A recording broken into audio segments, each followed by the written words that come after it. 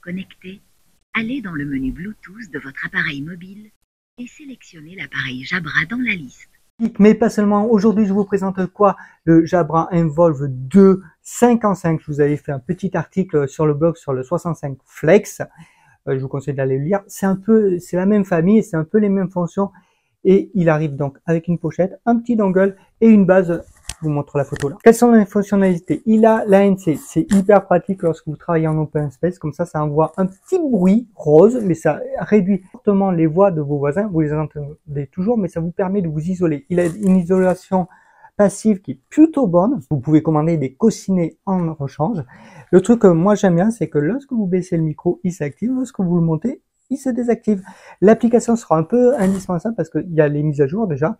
Et il y a aussi euh, l'activation des sons. Euh, vous pouvez choisir lorsque une petite voix qui vous dit euh, micro activé, micro désactivé. Personnellement, je trouve ça moyen.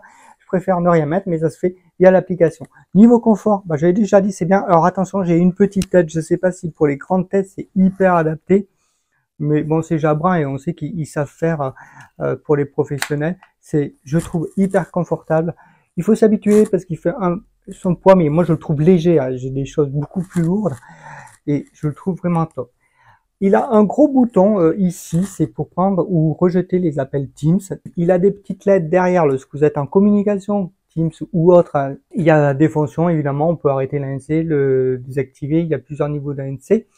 Et il a des petits boutons de fonction et là, je vous conseille de lire le manuel pour bien les appréhender. Je l'adore. C'est un près de mon boulot. Et oui, savent que je teste des trucs. Donc, ils me demandent aussi de tester le matos avant de le fournir à tout le monde. Moi, j'aime bien.